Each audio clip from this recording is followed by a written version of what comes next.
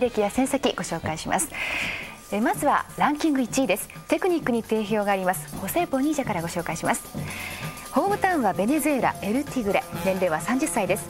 90年にプロデビュー。93年にフリオ・ブディノに判定勝ちしましてラテンアメリカフライ級タイトルを取り2度防衛しています。96年タイのセンソー・プルンチットに判定勝ちし WBA 世界フライ級タイトルを獲得。昨年2月に日本で井岡弘樹に7回 TKO 勝ちで初防衛。11月には同じく日本で山口圭司に6回 TKO 勝ちし3度目の防衛に成功しました。しかし4度目の防衛戦でウーゴ・ソトに判定負け。これを不服として再戦を要求。ウーゴ・ソトが怪我のため今回暫定王座決定戦となりました。成績は28戦24勝4敗。24勝のうち12の KO 勝ちがあります。そしてこちらはランキング2位です。野生にあふれるボクサーファイターマウリシオ・パストラーナです。ホームタウンはコロンビアモンテリーア年齢は25歳です。91年にプロデビュー96年に IBF ラテンアメリカライトフライ級タイトルを取り97年にあのマイケル・カルバハルを番狂わせで破り IBF 世界ライトフライ級タイトルを獲得。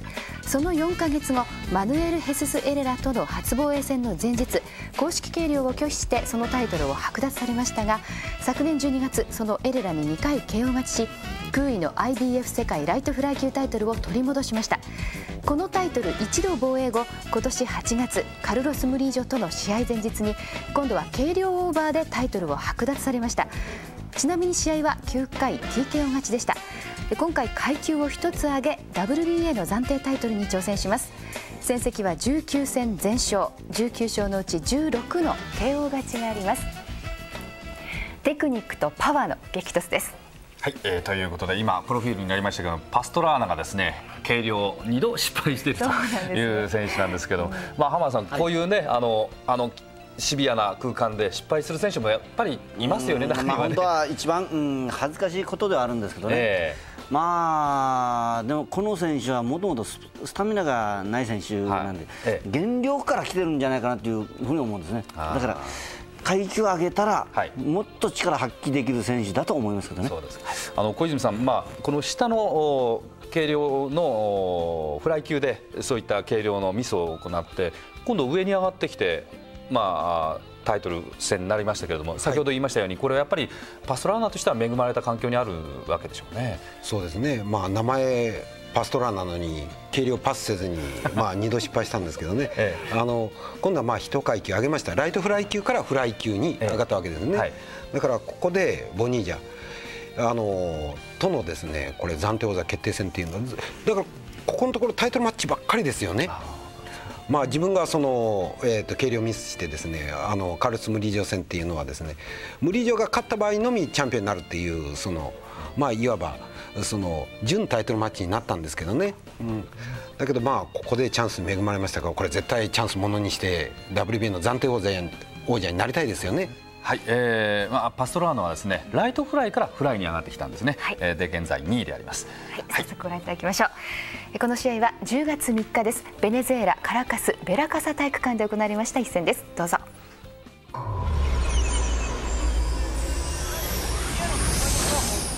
realización y la transmisión de este triple campeonato mundial.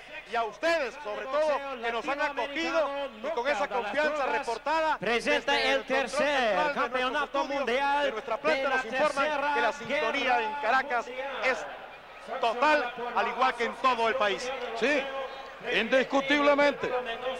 Supervisor Aurelio Fiengo, junto con el comisionado nacional de Venezuela, Jesús Coba, y el presidente de la Comisión de Boxeo de Distrito Federal de Caracas, doctor Luis Narciso.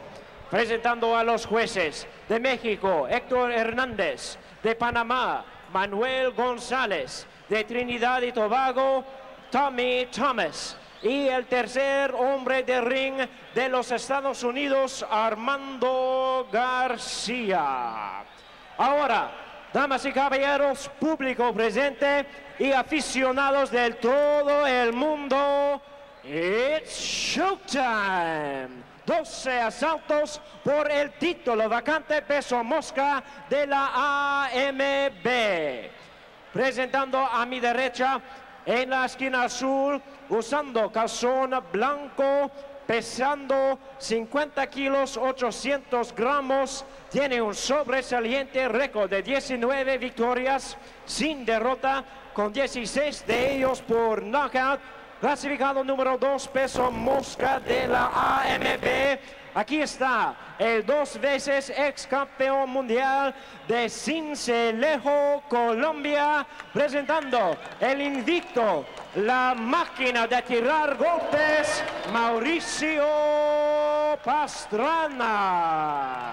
ランキング2位のマウリシオ・パストラーナですコロンビア Y su rival en la esquina roja, con calzón amarillo, azul y rojo, pesando 50 kilos 800 gramos su récord.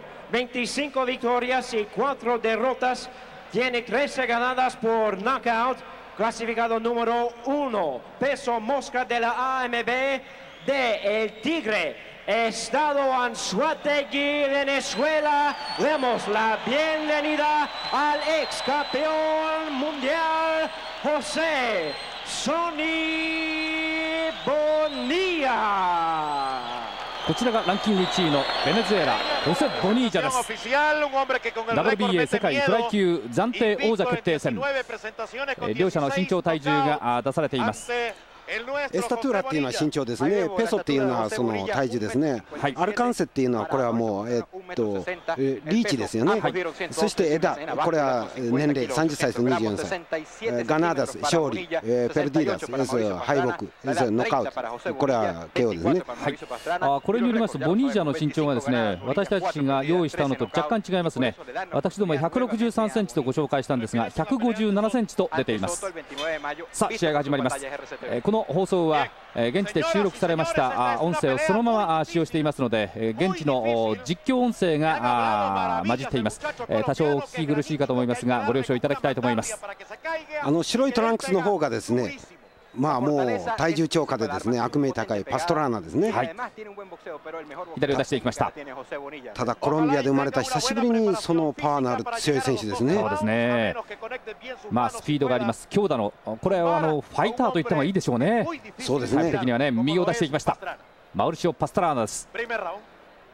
そして右のカラフルなトランクスを履いていますのがベネズエラのホセ・ボニージャですまあ、マイケル・カブラハルと最初戦った時ですねまたそのコロンビアのそのまあ我々に馴染みのない選手ばっかりに勝ってる無敗の選手これ連れてきたんだなと思ったらなんとこれが強かったですね。えー あれで一気に名前挙げましたね。そうですね。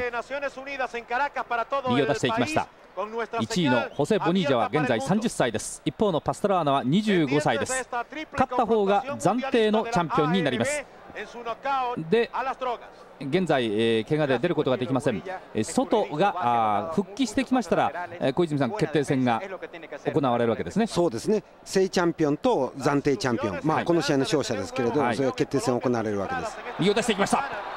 ボニージャです、まあ、WBC ではおなじみだったんですがこの方式を WBA でも採用いたしました。左を出していきます。今右から左フックの開始ボニージャ良かったですよね、はいまあ、ボニージャは日本であの井岡選手、山口選手とやってますから日本のボクシングファンにもおなじみですよね。そうですね、えー、まあ、老快なそのボクサータイプですね。はい。まあ、ベネズエラの選手なんですけど、ボニージャ、これ、タイプとしては典型的なベネズエラと言ってもいいですか、どうでしょう、まあ、典型的なベネズエラっていったら、やはりデビット・グリマンですね、やはりあのフットワーク使って、ですね華麗なテクニックを使う。はいボニージャの場合はですねなんかそのギクシャクはしてるんですけれど、はい、その打つ時は結構当てるのがうまいんですよね。そうしますと、まあ、ティピカル典型ではないんだけども、まあ、ベネズエラタイプベネズエラのその、まあ、テクニシャンタイプに属しますね一方のコロンビアのパストラーナ、こちらはどうでしょうか、タイプ的には。まあ、かつてアントニオ・セルバンテス強かったですね、まあ、あの今、門田会長ですけどね、まあ、門田真一、門田康明さん、えっと、8ラウンドそのノックアウトするときに8度ダウンさせました、はい、ああいうその体力のあるですね、まあ、馬力のあるその強い選手は時々出てきますね。でこのパストラーナがそのタイプですよ。なるほどね。パンチがありますね。はい、左を出していきました。おっと右合わせをしたんですがボニージャ。パストラーナに下がられています。第1ラウンド終えています。私はこのラウンドはボニージャにつけますね。あのボニージャのですね右から左フックの開始、はい、そして、うん、あれが有効だったと思います。そしてパストラーナのパンチはですね結構空回りしてましたね。はい。ベネズエラカラカスベラカサ体育館で行われています。ご覧のような櫓を組みましてそして、えー、照明、えー、器具を、えー、取り付けているというご覧のような状況であります第1ラウンド、浜田さん、はい、えー、パストラーナ、ボニージャ両選手の動きどう見えました、まああのー、挑戦者のパストラーナとすると1階級上げた分、なんていうんですかね、あのー、インファイトに攻撃力が増していると思うんですけどね。はいいややあ踏み込みが大きいですね、ね。もう少し小刻みに踏み込むとすっと入れると思うんですけどね、まあ、そういった面でチャンピオンのボニージャの方が、えー、相手の力を利用して、えー、ボクシング今やってるなという感じしますね。まあ、あの挑戦者チャンピオンというよりも1位と2位でですけどもね、まあ、まあ、そういうことですね、まあ、どうしてもそういうふうに捉えたいですけれども、ホセ・ボニージャが1位で、えー、パストラーナ、シロン・トランクスが2位です。暫定のチャンピオンを決めようではないかというこの試合。まああのボニージャがあ前回、えー、おっとっとはい、えー、まあ負けたような感じがしないんですね。そうですよね。えー、ですからまあチャンピオンという印象がまだあるんですけどね。いや実際ボニージャもそう思ってるんじゃないですかね。でしょうね。この5月29日にウーゴ外に今敗れたんですが判定に不服を訴えまして再戦が決定していたんですがその外が負傷のため戦うことができなくなりましたしたがってこの試合が生まれてきたわけです前ライトフライ級のチャンピオンパストラーナが1つ階級を上に上げてまいりました。シロントランクスパストラーナ。左を出していきます、えー、パストラーナの入り方がやや大きくて、えー、なんですかね振りが大きいんで、はい。えー、踏み込みも大きいんですけどね。もう少し小さく早く入るといいんですけどね。今のところボニージャがプレッシャーかけてますね、はい、パンチはそれほど出してないんですけどね右から左ロープが下がりました。入っていって右。軽く傾いているようです。左を出します。112パウンドという両者の軽量でのまあ体重なんですけれども50.8キロになります。1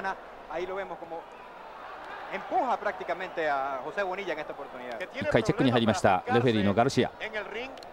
まあこのフライ級というクラスは日本もいろいろ強いチャンピオンが出てますからね、えー、ファイティング原田さん、海老原さん、大場正夫さん、小熊庄司さん、はい。ねそのまあ、いろんなチャンピオン、まあ、伝統のフライ級って言われてた時代もありましたね。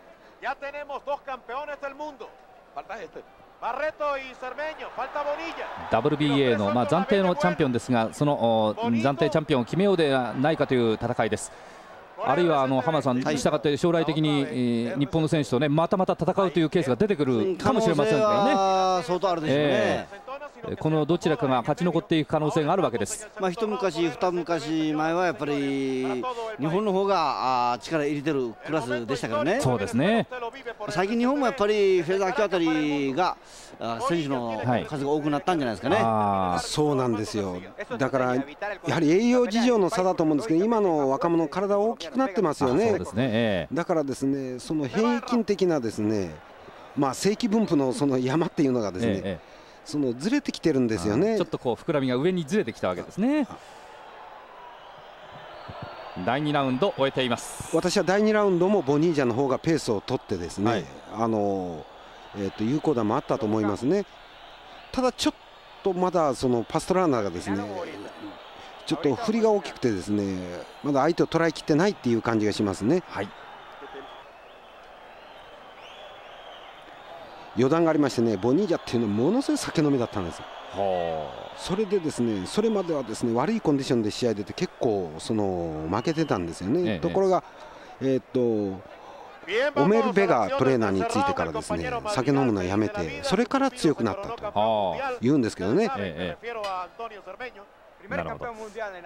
まあ百役のね、えー、長と言われますけれども、セボニージャ先を立って強くなったという現在1位です。ただ現役のボクサーはアルコールっていうのは本当に良くないんですよ。らしいですね。もう反射神経がですね確実に鈍りますから。はい。じゃ右のストレート当たってはいません。ボニージャ。まあ、紙一重で相手のパンチ外したりですねカウンター取るその競技ですからね、えー、だからアルコールっていうのは体にいいわけはないんですよね。だからもう引退してから酒飲んでください。現役のボクサーは。右のストレートを出していきます。当たりませんまあ、またアルコールのこと言いますけど、まあ、ビールぐらいと思うかもしれませんけどあのアルコールっていうのは習慣性があるんですね、ええ、今日飲むと明日も飲みたくなるんですよ。だからそういうことで現役のボクサーはそのアルコールっていうのは本当に慎まないといけませんしスパーリングして頭打たれた時なんかですねその日の夜酒なんか絶対飲んだらだめですね。はい。まあ浜田さん、それはもってのほかですよね、やっぱり、ね、一番危険ですもんね、あのそういった話するまでもなく、常識だと思ってますけどね。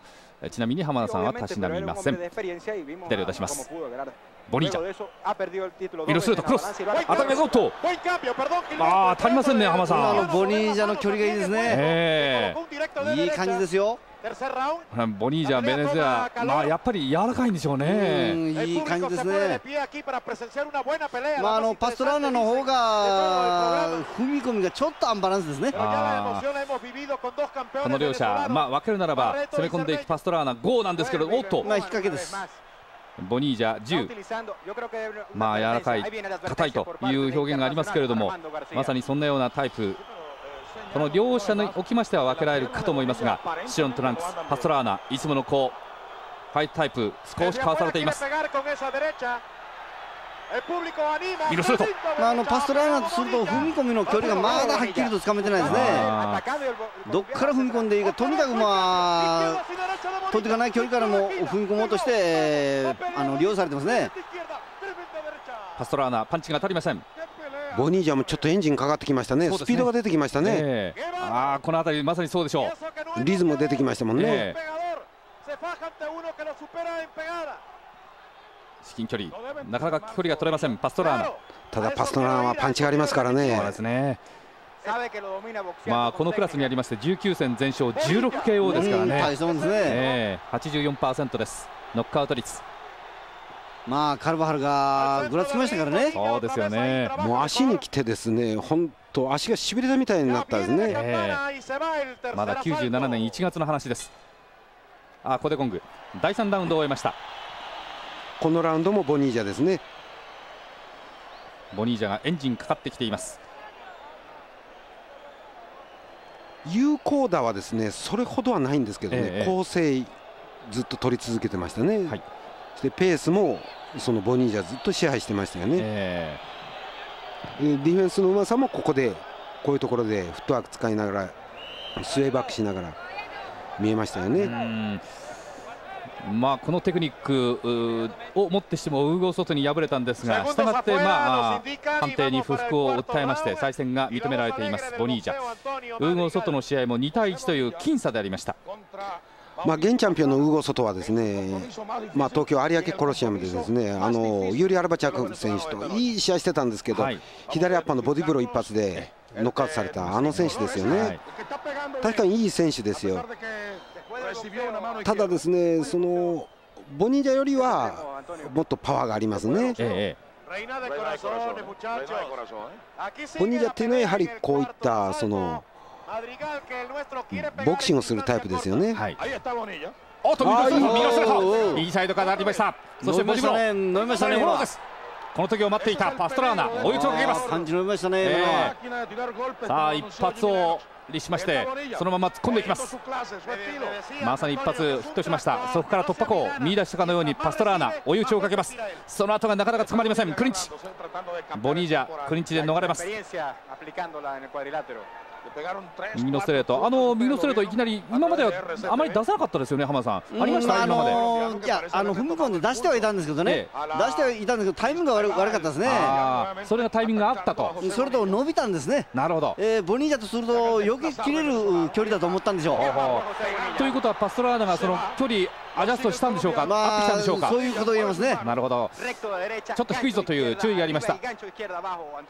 ああ心なしか距離が詰まったような感じがあります。パストラーナうんいいバランスになりましたね、えー、先ほどまで素晴らしいテクニックを披露していたボニージャちょっと追い込まれ始めています。左のストレート。アストラーナです。ボニージャはどうするか、まあ、やっぱりボニージャとすると一発打たれたあパンチあるなというふうに思ったでしょう、あかなり後ろ交代するね。そうですね、えー、シーンが出てまいりました、この辺りそうでしょう。交代を始めています。しかし出てくるところカウンターを取ろうとしています。ボニージャこれから戦いが動いてきそうです第4ラウンドの半ば右のストレートもう一回左を返します先ほどは右のストレートで突破口右開きました調子出てきましたねさあパストラーノと右のストレートから左このパターンが当たりますだからボニージャっていうのがですねボクサータイプなんですけどジャブをその有効に使うタイプじゃないんですよね、なるほど出花をそれほど叩いてないですからね、え張り込まれ出すとですね動きに慣れられると結構パンチ食いますよね。ガードも低いですしね、え相手のパンチを食いながら至近距離になっています。パストラーナ。さん確実に距離は縮まりましたね。縮まりましたね。右。うん。もう一回持っていきます。それとパンチに力出てきましたね、ええまあ、あのアンバランスでパストラーナー打ってましたけどそれがしっかりしたあの足で打ってますからね。あ左か右パンチに力入ってきましたね。これはボニージャの反撃です。すべてブロックします。右ラッパー。ここでゴングです。第4ラウンド終了しました、うん、このラウンド文句ないでしょう。パストラーナーのラウンドですね。はいまあ有効なクリーンヒットはるかに多かったですね、えー、ボニージャアップアップだったですね。さあ浜さんこの辺まあアジャストしたところこれは防いでますね。まああのー、調子づくと相手のパンチも見えてくるしそして効かないもんなんですね、えー、野球でよくあるじゃないですか。ホームラン打ったらですねその後あの気分よくしてですねファインプレーが出たり逆にファインプレー出たらそのバッティングに影響したり結構その攻撃がうまくいきだすとディフェンスもうまくいくっていうそういう、まあ、リズムの相乗効果なんですよね、ね。体のキレが良くなるわけですね、一つの動きから次の動きへの、その速さ、滑らかさっていうのが良くなってくるんですね。だから、ディフェンスと攻撃っていうのはですねそのアタックっていうのは表裏一体なんですよね。避ける、すぐ打つ、あるいはそれで打った、すぐ避けるそういうのはもう本当にリズムなんですよ。ね。ちょっと頭が当たりました。逆にボニージャはですね一発当てられたんで逆に悪い方悪い方にいってるような感じですね。なんかリングに入りましたね。今飛び込んできましたね、はい、何か物投げられましたね。まだ片付けられてはいないようですねレフリーはちょっとまだ試合の方に注意してあここで投げ捨てましたね。リボンかなんかですね。右のクロスを放ってきました。パストラーですからあのボニージャとすると一発食ってパンチあるなと、えー、あのー、不用意に打っていけないなっていうふうに警戒感が増したんでしょう、えー、まさにあの一発からカラッとそうですね、両者、こうしたところを入れ替えたというような感じになりました。その警戒感がいい方に向くといいんですけどね、それがやっぱり、えー、警戒のあまり手が出なくなるというと逆効果ですね。体はしかし、先ほどからもよくは動いています、モニージャ。飛び込んでいきました、左を合わせます。完全にパストラーナこの相手の動きに合うようになってきました。まあしかし浜田さん3ラウンドまでは全くね合わなかったんですけれども。そうですね。まああの踏み込みなんかでもパストラーナアンバランスでしたからね、やっぱり一発当たるとこの選手は気分乗るでしょうね。ただまあライトフライ級時代というのはなんていうんですかスタミナがなかったんですよね、はいはい、これがこれからウエイト上げたせいで、えー、スタミナ面でどうかと。いうふうに思います。どうかっていうのはやっぱり、えー、食べてる分スタミナはあるというふうに思いますけどね。どねえー、逆にボニージャが攻め込んでいきます。ここはボニージャの地元でありますベネズエラ。また距離を取り始めまして動き始めます。右のストレート。きれいに伸びていきます。パストラーナもともとライトフライでは重たいんではないか。このようにも言われていましたけれども上半身見事な筋肉をつけています。パストラーナ。自分ではまだライトフライでも大丈夫なんだという上がってからもそういうコメントをしています。右のストレート左。まあ前回今右3キロ向かったということを聞いてますからね。そうですよね。絞り切った後に2キロっていうのは大きいですよ、えー、っと。ミラッパから左このラウンドはまたボニージャがその打ち合いに応じてきましたね、ね、このラウンドはボニージャ結構いいですよ、はい、入ってくるところまた右を出しています。右を出しました。左。ボニージャ。ペースを取り返そうというボニージャ。ここでゴングです。あボニージャ両腕を上げました。ボニージャのラウンドにつけますね。はい。このラウンドはですね相手のそのパワーに対してですね軽いんですけれど回転の速いコンビネーションでですね、対抗しましたねだからあのクリーンヒットは多かったと思いますね。はい。さすがボニージャ老快ですね、えー、第5ラウンドまで終えています。浜さん、その辺のところあペースを取られ始めたなと思ったら何かこう切り替えることができるというのは選手のやっぱりうまさなんでしょうね、あ、とキャリアでしょうね。キャリア経験でしょうね、えー、どっちかというとボニージャパワー型じゃなくて相手の力を利用するタイプですからね。そういった面ではやっぱり、えー、経験からくる今あ変えとかなければというふうに思って一生懸命動いた結果やっぱり、えー、感じ変わりましたね。あボニージャーこれがプロ29戦目30歳です。さあこのラウンドはどうなりますか？第6ラウンド。WBA 世界フライ級の暫定王座決定戦です。なんかボクサーっていうのはですね1試合で自信つけて化けたりすることがあるんですよね、だから96年11月ですから約2年前ですよね、はい、あの大国でセン・プルンチットですね、はい、あれにまさかボニージャが勝つと思わなかったですよね。ね。でしたね。でその前のですねその1000に勝つその3試合前にはですねあの日本にも来たヒルベルト・ティコ・コンサレスにノックアウト負けです。TKO 負けですね。その前にはロセンド・アルバレス日本へ来てですねあの塩浜選手なんかと戦ったそのロセンド・アルバレス。それにも TKO 負けですね。その選手が1000に勝った途端ですねこうして井岡選手に勝ったり山口選手に勝ったりするチャンピオンになるんですからね。まあ浜田さん俗に言うあのベルトの魔力と言いましょうかね。ベルトを巻いたらチャンピオンとしてのね、まあ、やっぱり精神面というのは相当左右されますからね。ちょっとした弱気になったりちょっとした勢いに乗ったっていうのは相手に感じますから。かもしれませんね。試合の最初に弱気にでもなったもんだったら相手ごまかせないですからね、えー、ボディブローです。打って離れます。ボニージャ。まあそれでスペイン語でお金のことディネロって言うんですけどね、はい。それはディネロの魅力もあるんですよ、あうん、やっぱりこう世界タイトルで勝つと負けるとですね大金がかかってますからやる気にもなりますよね。ね。右から左ショートのパンチ。右。ボニージャ。今度は左浜さんペースはどうですか？えー、っとですねあのー、このラウンドの前半パストラーナまたいい感じだったんですけどね、えー、えー、リズム悪くなったなと思ったらまだボニージャの盛り返しっていうんですかね。ペースの取り合いになっています。中盤第6ラウンド。頭を抱え込みます。おっと上から叩きます。このラウンド前半ボニージャ食って聞いたところあったんですけどね。はいまたボニージャがペース取り返しつつありますね、えー、ボディこれはベルトラインです。サイドですがベルトライン。右から左右パンチ。えました。パストラードの右のパンチです。入り込んでる右。この辺は引きます。距離を取ります。パストラーナまた右インサイドから右のストレート。パストラーナがパンチを当てています相手の左肩越しにですね、あの右のパンチいきなり持ってくるのがああ左左左。ボニーじゃ疲れてきましたね。これは距離がありました。左届いています。あそうですね。ボニーじゃ動きがちょっとですね。まあダメージから来るんですけどね。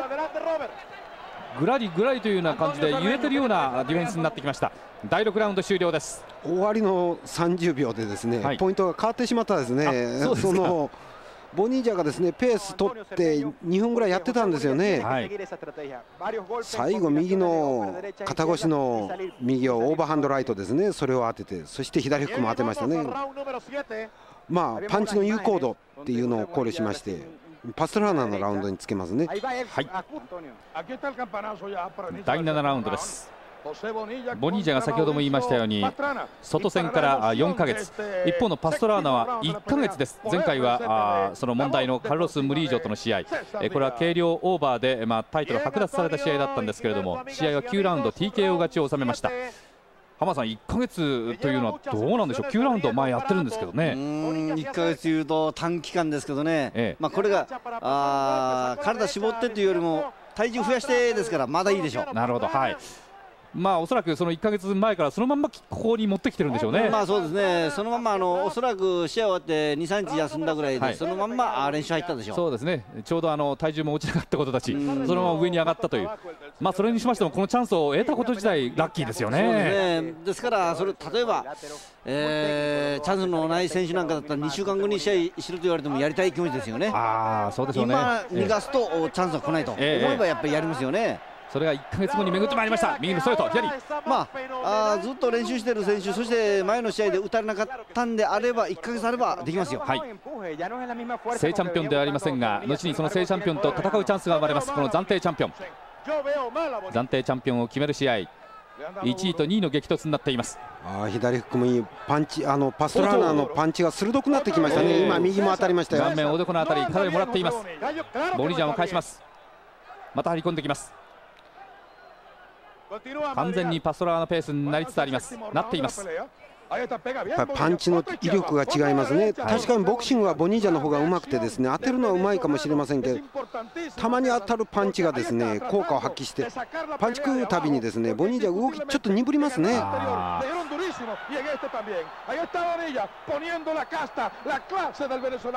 右のパンチは顔まで届きませんボニージャ。また入っていきます。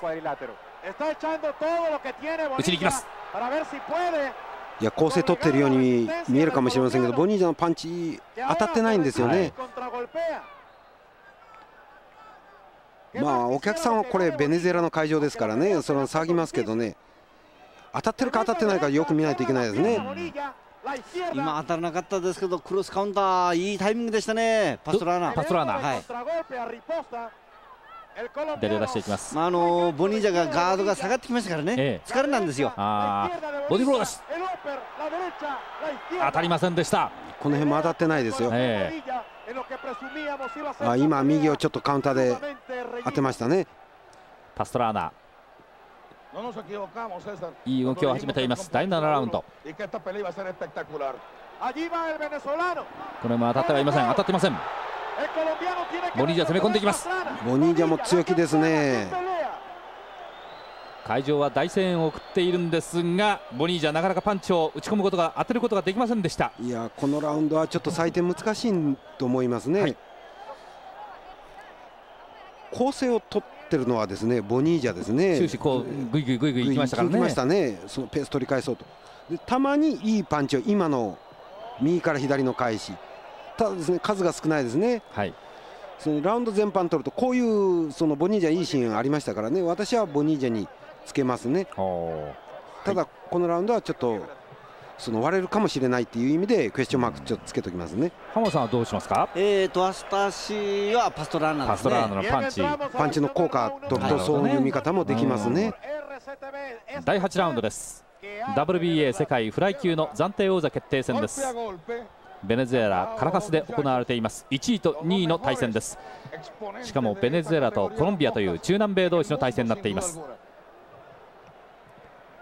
当然ながらその中南米ではありますけれどベネズエラはベネズエラ人の応援するでしょうけども小泉さんベネズエラがいない時はやっぱりコロンビアの応援するもんなんでしょうかね。その中南米まあ中南米の同胞意識っていうのはありますでしょうね。ラテンアメリカっていうのは一体感がありますね、えーまあ、ラテン同士の王座決定戦になっています。はいまあ、ブラジルはポルトガル語ですけれど他はですねスペインに占領されてそしてそういう独立を迎えて、はい、そういう共通の歴史ありますね。まあ、そういうことで、まあ、言語が同じっていうのがですねやはり親近感ありますね。えー、左を出していきます。まあ、特に先ほども言いました歴史的には一時はね同じ国だった時もあったということですけれども、まあ、そういったことから、まあ、今回はしかし地元のまさにベネズエラの、えー、ランキング1位のボニージャが戦っているわけですから当然ながら声援はこちらに傾きます。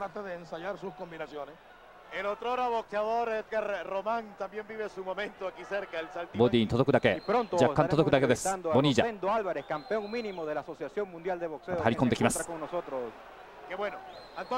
ボニージャもスタイル変えましたね。どう変わりました？かえー、っと相手の空振りを誘って、えー、打つスタイルからあ自分から攻めるスタイルに変えましたね、はい、この辺りそうでしょう。出ていきます。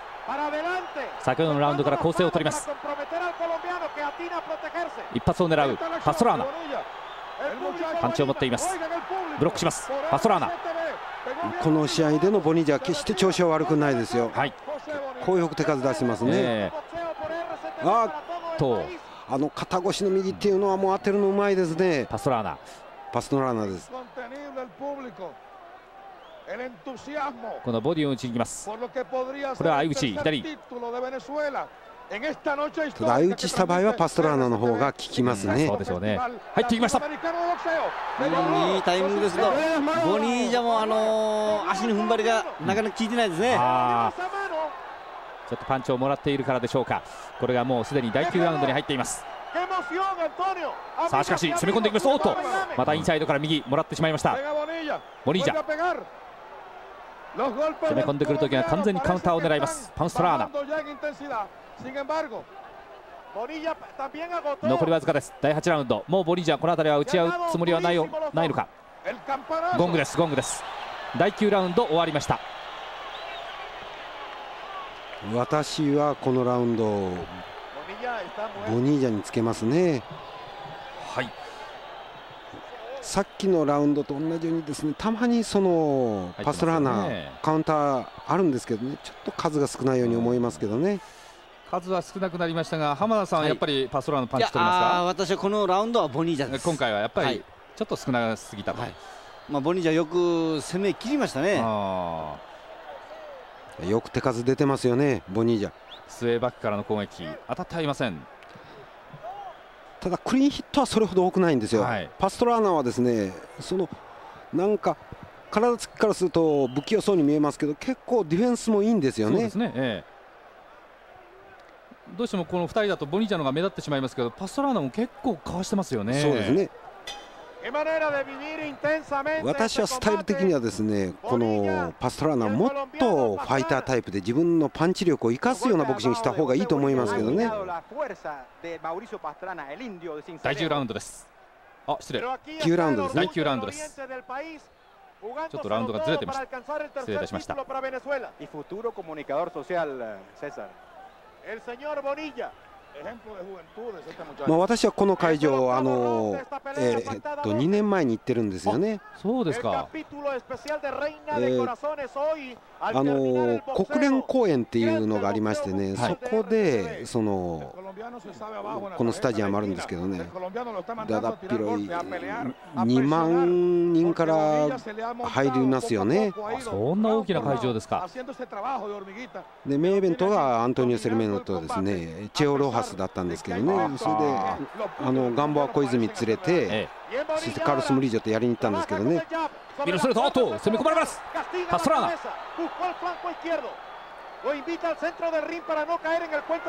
エルボーブロックただあのー、攻め込まれた今よく見てますよ、はい、パストラーナあのー、よくあのー、打ち返すタイミングが測ってますね、今、えー、相手の右は腕を上げましてこの辺りパンチをかわします。ステバック右から左右がクロスになりますパストラーナ三つ目目返しましたパストラーナ、あの右当てるのはうまいですね相手のパンチが返るときにそれについて右を出してくるんですねなるほどねまあ、あのボニージャはやっぱりボニージャは今足がカウンターになりましたないんですけどね、ええ、あ聞きましたねボディブローからそして顔面ですパストラーナは今足がしっかりしている分強いパンチ打ってますね。ああクリンチです。たまらずクリンチ。効いてるんですよ。効いてますよ。さあこのラウンドチャンスです。レフリーアルマンド・ガルシアですね、はい、あの名古屋の飯田選手の試合にその来たことありますね、はいはい、ボディブロー。んとちょっとパンチの威力がありません。ボニージャ。左相打ちですが早く届いています。パストラーのパンチ。また左苦しい戦いになってまいりました。地元ベネズエラのボニージャ。この辺りはペースを奪われています。ちょっと失速しましたね、はい、本当にスピードが落ちてきましたね。パンチをかわしますけれども自分が攻め込むことができません。ボニージャ。ボニージャ効いてるんで、えー、足に力が入らないですね、はい Quedan 15 segundos para que termine el round 9. ボディーブローでカウンター、モニジャうまいんですけどね、この辺りタイミング、もう少しパンチに威力があればというふうな状態ですね。まもなくゴングです。ゴングです。このラウンドが第9ラウンドです。終了です。もうこのラウンドは文句ないでしょう。ファストランナーのラウンドですね。はい。いいパンチ食うとですね、まあ当たり前なんですけど足にきますね。ええそしてその後相手のパンチを結構受けるようになる。なぜかっていうとですね軽い脳震盪が起こってるわけですね。そこで常にパッと目で見る。相手のパンチ見えるわけです。避けないといけないって脳から指令がいくわけですね、はい、どちら側へ動けとか。それが鈍ってるわけです。伝達が鈍りますから結局そこで次のパンチも食ってしまう、ええ、いいパンチ食った後はですねがぜんその動きが鈍くなって後のパンチももう受けるようになってきましたね。まもなく第10ラウンドです。その程度にもよりましょうけれども、その脳震盪状態というのは、やっぱりある程度の時間、回復は時間かかるんでしょうね。回復するんです、そしてその回復の早い選手と遅い選手がいるんですよね。あで、まあ、これは昔から言うんですけど我慢して我慢してそのタフでですね、えー、そのパンチを吸収してですね耐えるタイプはですねダウンすると案外立ち上がれなかった。軽いパンチでカクッとそのダウン膝ついてしまうような選手が立ち上がってしまうと結構ですねあとはもうケロッとしてそのダウンがなかったみたいに回復の早い選手もこれが個人差があるんですね。第10ラウンドですそれはもう体格とは比例しないものなんですか、うん、脳からの伝達機能のもう神経系統のその個人差なんでしょうね。あなるほど。内部それも神経レベルでの。いいパンチです今日一番いいパンチじゃないでしょうか。あの足がしっかりしてる分、はい、しっかりしたパンチ打ってますね。ああ、ぐらぐらときます。ぐらついています。モニージャ交代し始めました。ね、今のはかなり効いていたんではないでしょうか。左出しました。右から左。まあ効いてる分足に力が入らないというところがありますね。ボニージャは。ボニージャ土台がぐらついてまいりました。また左をもらってしまいました。ボニージャとすると相打ちはしちゃいかんですね今、ええ、ボニージャしかし。する分あの打ち遅れますから。完全に合わされました。左フッカー合いましたね。打ちに行ってしまいましたボニージャパストラーナが合わせました、ここが勝負と思って打ちに行ったんでしょうけどね、え。ー、相手の方が余力残ってるんですねまだ。終盤に来てダウンです。右から左フックいいパンチだったですね、え。ー、まだ時間はあります。たっぷりあります。パストラーナボニージョすると苦しいですね。暫定王座パストラーナか。さあ追い打ちをかけます徹底的に逃げ足を使います。このラウンドはもうボニージャとしては逃げるしかないですからね。なんとかしのがんでからですね、えー、しのいで時間を稼ぎたいボニージャです。一方パストラーナここで詰めてしまいたいところでしょう。ボディ打ちたいですねパストラーナは。パストラーナボディ打って一瞬動き止めて、えー、そして左フック持っていくことですね。そして右ですね。あクリンチクリンチ。厳しい体勢になりましたボニージャです。苦しいですね、えー、まだご覧のように時間は1分15秒ありますさあこの1分15秒パストラーナどう使うか？詰めていきます。右あーとボニージャも手を返してきます。ボニージャ打ち返すんだったらもっと、えー、右からおっとっとまた右ショートのパンチがヒットしました小さいパンチで打ち返すことですねおいいパンチですね右右入りましたよ右のコースと右で弾き飛ばせますいやいいパンチ入入ったんですけどね、えー、やっぱり、えー、ボニージャ効いてる分、うん、パンチ力も踏み込めなんですね。なるほど。あボニージャがなんとなくこう先ほど状態を出したようですけどまだまだ不安定です。足元不安定。ぐらつきます。打った後ぐらつきます。残り30秒。打った後足が支えきれないですね。そうですね。ああ太もも左パストラーのあと一発。おー右右ショート右。かいくぐっての右です。相手パンチおっ止まりました、右右アッパー組みました。右アッパー組みました。パンチをもらってしまいました。ただダメージの度合いが違いますね。そうでしょうね。その後もパンチが続きませんでした。ボニージャコデゴングです。第10ラウンドを終えました。10対8ですね。あはい。ダウンがありました。パストラーのラウンドですあのダウンは効きましたね、えー、右を当てて左フック返しましたけどもろですね。さあ VTR です。浜さんこれいいパンチですね。ああ本当合いましたね。左フックの同時まあですからボニージャが一緒になって打ちに行ったんですね。やっぱりパストラーナの回転の方がダメージ少ない分、ええ、早かったですね。10ラウンドついにダウンシーンが訪れました。1位のボニージャダウンを奪われています。11ラウンド目。WBA 世界フライ級の暫定王座決定戦です。左を出していきます軽量問題児マウリシオ・パストラーナがぜんこの終盤構成を示していますが靴の紐ですか。まあ、ボニージャとするとダメージがある分時間、稼ぎたいところですね。そうですね。ちょっとうがった見方もできそうなされてしまいそうなシーンであります。とにかく時間を稼ぎたいホセボニージャ。回復を待って最後の一発にかけます。左を出します。さあ一方のパストラーナとしては浜さんどうしましょう?もうチャンス見つけたらもうラッシュでしょうね。攻めたいんですけど、やっぱパストラーナの方も、おパンチ食うところもあったしダメージは若干あるわけですよね?はい。だから強引にはいけないというところはありますね、ただ、あのー、脇を締めて強引にいくとノックアウトできそうな雰囲気もありますよ、このボニージャの疲れ方、ダメージから判断すると。ええボニージャも打ち込んでいきます。これはチャンスです。パストラーナ。おおカウンターカウンターカウンター。になりました。さあパストラーナ。まだいきます。ね。腹っ柱が当てます。さあまだ右から左。ああ効いてますよ。なんとか右一発与えるところです先ほどは左の開示のフックで倒しています。リアまた。ヒットします。ああボニージャもっと小さくなんといかんですね。ああ大きいですか。大きいですね。ボニージャこれじゃカウンター食ってしまいますよ。やっぱり一挙に挽回を図りたい。ボニージャ焦りが出てしまうんでしょうか。しょうがないところあるんですけどね、えーお左です。これだけ疲れた選手にダメージある選手に小さく出と言ってもですね体が動かないんですから。なるほど。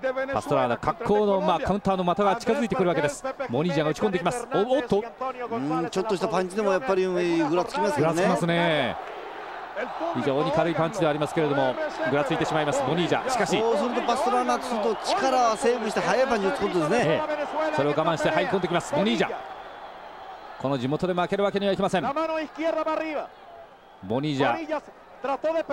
かなり苦しいんですが頑張ります左を出しました残り50秒切ります11ラウンド目ボディーブローカウンター気にはなりますが勢いが違いますもうほとんどボディーブローにも威力がなくなってまいりましたボニージャ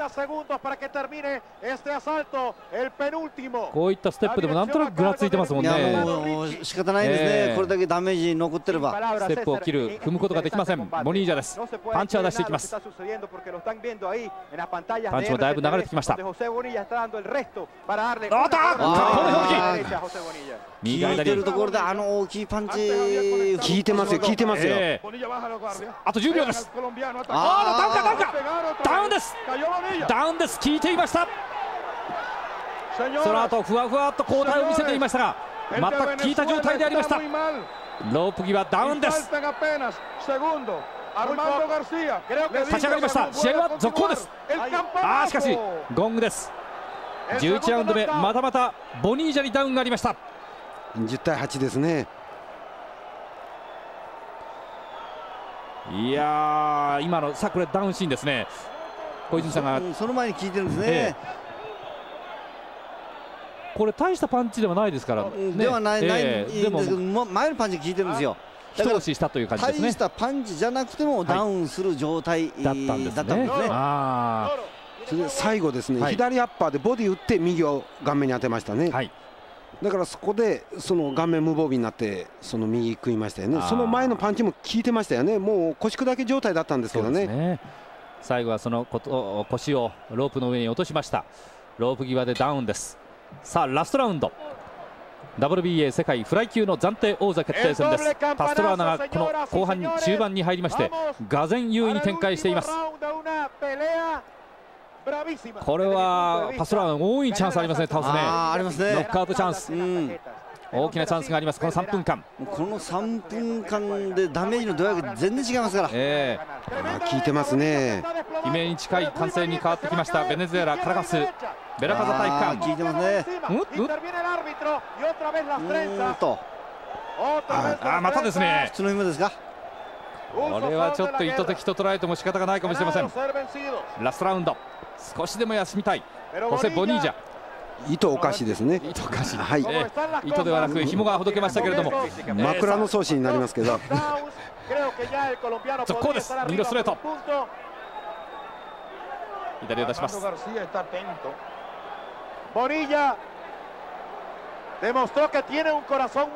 地元スパニッシュの放送もちょっと悲壮感漂ってまいりました。左髪ゴート。首相撲になってしまいますまあボニージャにダウン取るだけの力がほとんどない状態ですからね。そうですねあとはパストラーナどのようにフィニッシュを見せますかこのままいきますともうポイント的には2つのダウンを奪っていますこれで決定的ではないでしょうかまあ中盤、えー、微妙なラウンドもいくつかありましたけれどもパストラーナこの終盤の追い上げ特にダウン2つこれは効いているんではないでしょうかね。まあ前半は確かにボニージャがだいぶポイントを重ねていました。今あのボニージャの右のいいカウンター入ったんですけどね3度目のダウンです。パンチ集中しました勝負あったですかね。立ち上がりました。どうでしょう？レフェリーは続行させるか？ダメージずいぶんあります止めてもおかしくないですよね。止めてもおかしくないですね。続行させます。ラストラウンド。地元ベネズエラのこのランキング1位ホセボニージャということもありましてなかなか止められないのか。まあ前チャンピオンですよね。まあ、ね、対する経緯かもしれませんけれど、ええ、まあここで止めるのも妥当だったかも分かりませんね。そうですね。50秒あります。この50秒パストラーナもうこれで勝ちを確信したかのように決して深追いはしません。ゆっくりとゆっくりと攻め込んでいきます。パンチが弾き落とします。左。右から左もう完全にパストラーナは何かこう悟ったような感じでいきますね。もう相手のパンチどんなパンチ打たれても、はい、心配ないですね。まあロピーはクリンチです。どうでしょう？おっと。今引っ掛けまして、えー、もうどんなあやり方でもダウン取れる状態ですね、ね、今ちょっと軽い振り回しだったんですがこれにもねついていくことができません。モニージャ。まだしかしあもう時間がないので最後まで流そうということでしょう。レフリー試合終了です。うんとちょっと数秒早かった感じしますけどね、はい、ゴングが。ラストラウンド終了いたしました。試合終了です。このラウンドも10対8パストラーナですね、はい、ダウンがありました。この10、11、12を10対8でですねこれで 6, 6ポイント稼ぎましたよね、ねこれもう前半結構そのボニージャいいラウンドありましたけれどこれも勝ちは文句ないでしょうポイント取り返してこれ落ち着きが来てますよね。この3ラウンドだけでね。そうですね最後のシーン。私は114対111、はい、パストラーナですね。小泉さんは114対111ですか。Aquí tenemos también a todo el equipo そしてラストラウンドは私はストップした方が良かったように思いますね。そうですね。なかなか難しい判断ですけれども、もう勢いの差ははっきりと出ておりましたラストラウンド。最近ストップが速くなっている中では非常に珍しい例と言えますよね。これはね。今アナウンスしてますね、あのジミー・レノン・ジュニア、はい、115対111、4ポイント差、そして115対112、3ポイント差が2人。はいパストラーナですね3対0ですね、はいえー、これでパストラーナが暫定のチャンピオンにつきました。WBA 世界フライ級の暫定チャンピオンです。これでまあ近い将来ウーゴ・ソトと対戦することが決定したわけです。そしてこの試合の前座でですねなんとレオ・ガメスがですね、日本よりも来たティコ・ゴンサレスをですね逆転のカート勝ちしたんですね。ですねだからですね近い将来ウーゴ・ソトとのパストラーナーそしてその勝者とレオ・ガメスがありえますね。はいそれでは試合結果を確認してみましょう終盤猛攻をかけたパストラーナ。敵地ベネズエラの声援を跳ね返しボニージャを圧倒。逆転で WBA のフライ級暫定タイトルを取り2階級制覇を達成しました。